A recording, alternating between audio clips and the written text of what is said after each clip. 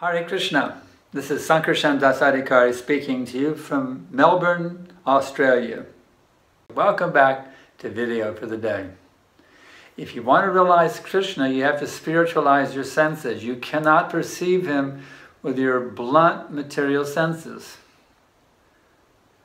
The scientists and the philosophers that are locked into that platform, they can't experience what is transcendental because they're so proud of their material senses. They can't believe there's something beyond their material senses.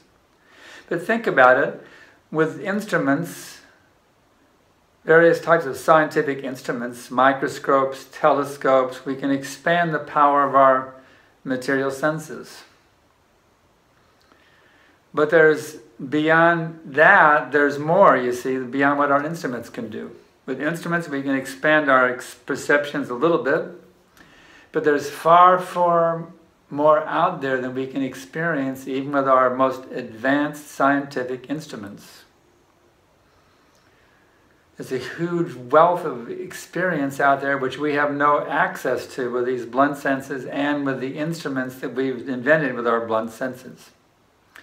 But if you take the guidance from Krishna, and from realized acharyas, you will learn actually how to perceive that which exists beyond what any material sense or material instrument can perceive. But you have to purify your senses by engaging them in the service of Hrishikesha, the master of the senses, Krishna.